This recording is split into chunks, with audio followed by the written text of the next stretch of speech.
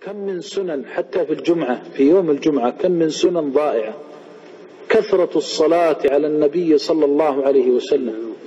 يقول فأكثروا ينادينا ويقول أكثروا من الصلاة علي. فيه فإنه تعرض علي صلاتكم. أمران تأملهما. الأمر الأول هذا النبي الكريم الذي أرسله الله رحمة للعالمين وله عليك الحق العظيم. بعد حق الله عز وجل يقول لك أكثر من الصلاة عليه. ما سألك الدنيا ولا سألك أمر من من حطامها الفاني.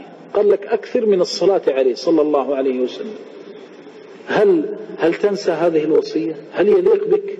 وخاصة إذا كنت طالب علم تجلس في بيتك ما يسمع منك ولدك في يوم الجمعة كثرة الصلاة على النبي صلى الله عليه وسلم؟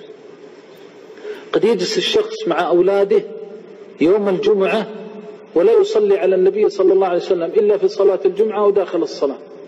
والباقي الله المستعان. ونقولنا طلاب علم وأننا أهل سنة وأننا أهل وتجد الواحد منا من أضيع ما يكون للسنة. أكثروا علي من الصلاة فيه ثانيا يقول فإن صلاتكم معروضة عليه. تأمل إذا جاء يوم الجمعة عرضت صلاة الأمة عليه. وما وجد فلان ما صلى على النبي صلى الله عليه وسلم إلا ثلاثة أو أربعة أو خمسة. ترضى هذا لنفسك؟ بدل جمعة مباركة وبدل هذه الأمور التي ليس لها أصل أحي السنة.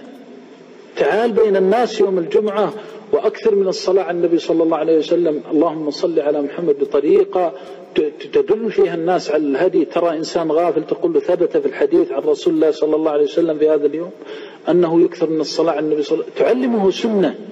كم لك من الأجر إذا علمته؟ لو أن ولدك أفاق يوم الجمعة وهو يراك كثير الصلاة على النبي صلى الله عليه وسلم فأخذ منك هذه السنة. فأصبح يكثر من الصلاة على النبي صلى الله عليه وسلم. والله ما ضرب بها عظمة لسانه إلا كان لك مثل أجري. ولو تعلمها منه أبناؤه ولو تعلمها منه جيرانه وإخوانه لك مثل أجوره. من دعا إلى هدى؟ من سن في الإسلام سنة حسنة؟ بدل هذه الخزعبلات جمعة مبارك وكذا نبحث عن الأشياء التي في ديننا وشرعنا نكون بها أمة, أمة كما أمر الله سبحانه وتعالى.